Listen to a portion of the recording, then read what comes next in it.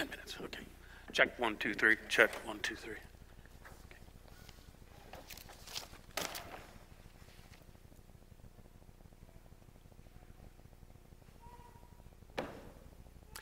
Good evening, everyone. No doubt you've already heard about this routine exercise in criminal justice that has just recently taken place in the Roman province of Judea.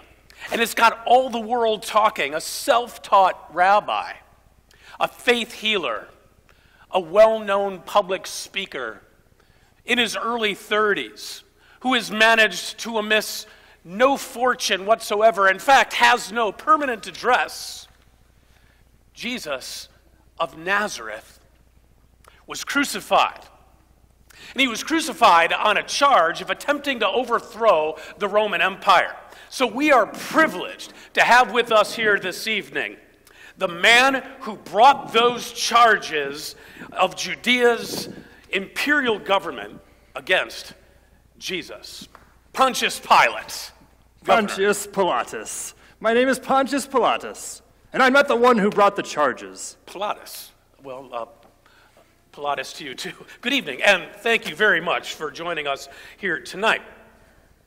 I'm sorry that you feel that way, Governor, but uh, who then did bring. Jesus was brought to me by the chief priest's personal security force. You want to get right into this right away? Is it normal for chief priests to execute criminals? If it's just a religious matter, a heretic they want to deal with, well, that's their problem. If it is an imperial problem, they bring it to my attention. The mission of the Roman Empire has always been one of peace. Well, excuse me, Governor, but the uh, Roman Empire has never been known other than brutal treatments of its enemies. In fact, m- massacring and even enslaving those that they conquer. yes, but peacefully. Well, what, what about this Jesus made it uh, him an imperial concern? Uh, actually, nothing. Uh, nothing. I'm sorry, I don't think I, I follow here. Why was Jesus brought to you then? The chief priests initially sent word that Jesus was stirring up trouble and trying to overthrow the empire, and that he was claiming to be a king himself, and that he was trying to organize a tax boycott. Well, upon which one of these charges did he end up getting executed for?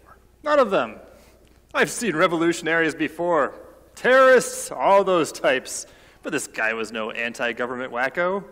I even asked him about the king thing, but I couldn't get a straight answer out of him. Uh, you mean about, about him being king of the Jews? I, I don't know what they were talking about anyway. Who cares what they said? The Jews already have a king. Yeah, a puppet ruler who answers only indirectly to Caesar. Herod Antipas was legitimately appointed by the Caesar to be the king of the Jews.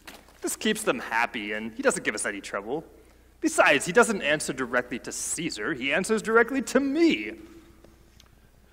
So, if Jesus was not a real and direct threat to the empire, why did the chief priests send him to you?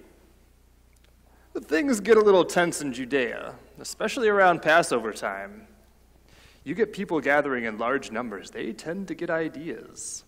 People who are really trying to start a war go to Jerusalem to try to stir up national sentiment.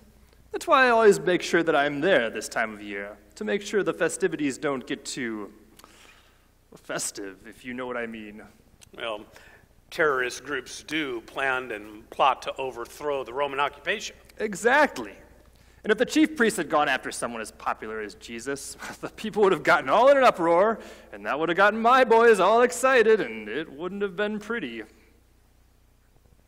So that's why you decided to execute Jesus? This was never my decision. I had nothing to do with crucifying Jesus. After the chief priests made their charges, which were ridiculous. They said that Jesus had been stirring up trouble in Galilee.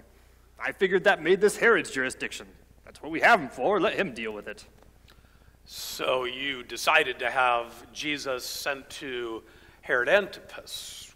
What did Herod think of Jesus? well, he was thrilled at first.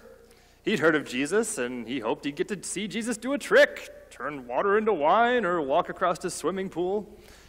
When he didn't get a show out of Jesus, though, and or a straight answer, he had his boys work him over a bit and then sent him back to us. Uh, yeah, we heard all about that. And in fact, we heard that Jesus had been beaten by the high priest's guards before he was even sent to you. Was he also beaten by the Roman soldiers? No, we're the Roman Empire. We don't beat on people. That's uncivilized. He was flogged peacefully with a whip.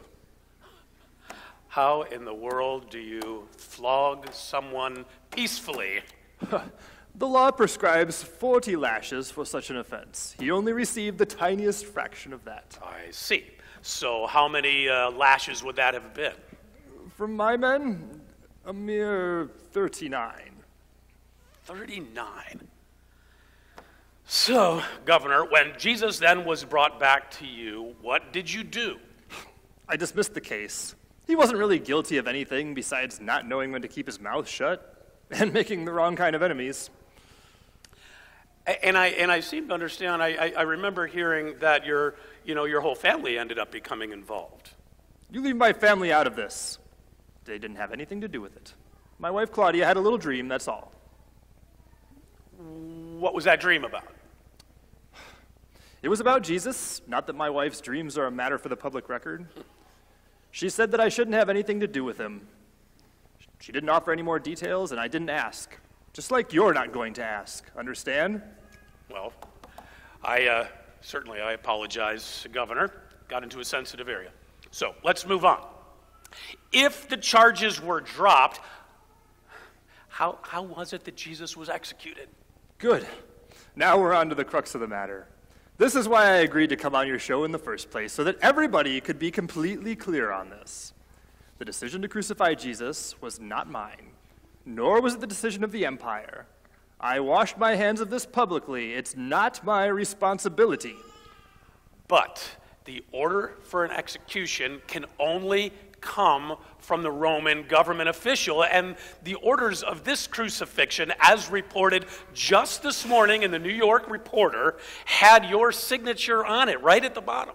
There is no way the reporter or any of the media could have gotten their hands on the original documents. Besides, it doesn't matter who signed them, it was the chief priest that pushed for it. They were threatening to report that I was not loyal to Caesar, which, Caesar, if you're watching, is certainly not true. My loyalties have always been in the right place. And on top of that, they had the entire city in my courtyard calling for Jesus' blood.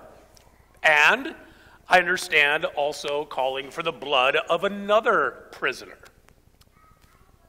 The remission of the Roman Empire has always been one of peace. I didn't want to riot for the reason I mentioned before. So there were too many groups roaming around in the town looking for the empire to destroy Judea. Exactly. Look for any excuse, especially around Passover time. So I started this peaceful custom.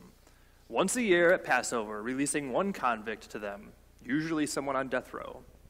I thought that I could use this to get around the chief priests, but they thought ahead of me and had the crowd ready to call for the release of Barabbas.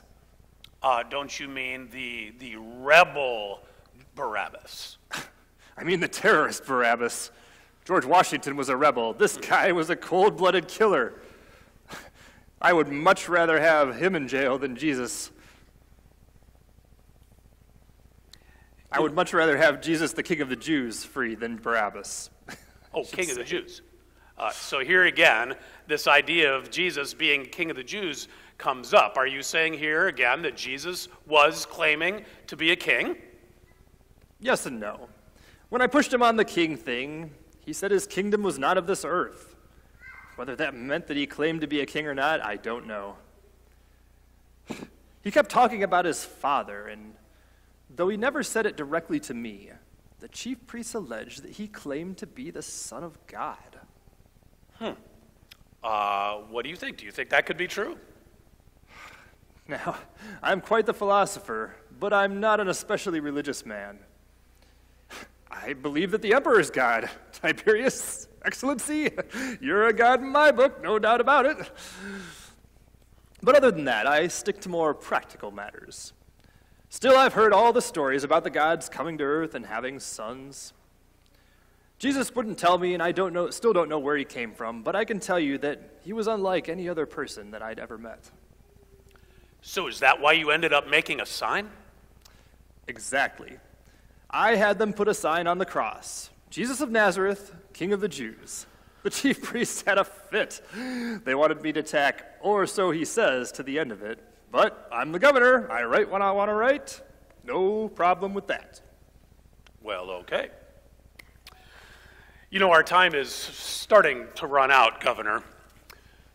But there is just one more thing that we need to talk about, and that is this that Jesus was buried under guard. what was that about? This was the story that just wouldn't end. Some guy asked for Jesus' body so he could give him a proper burial. So I gave him permission, after we made certain that Jesus was dead. And uh, how might that have been determined? Well, I, Jesus had quit moving long before all the other prisoners being crucified that day, probably because of the beating that he got from the high priest's guards and Herod's boys.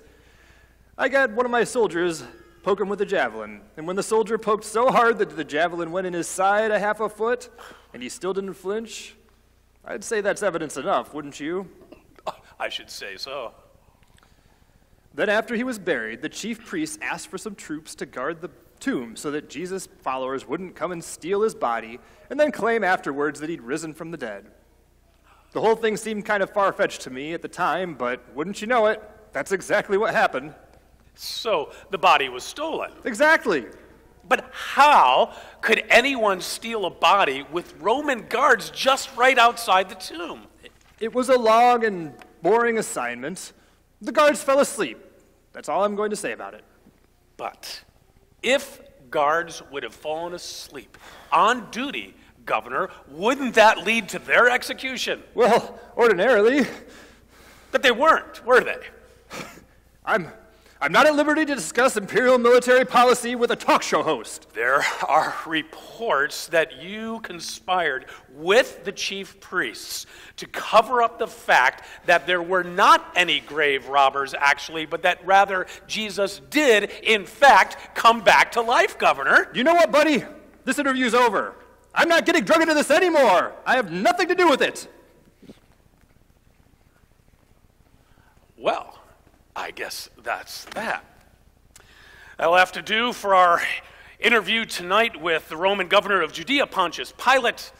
That invites you all to please tune in again next week as we continue to explore this fascinating story and journey of this exclusive then interview next week with the high priest of Israel.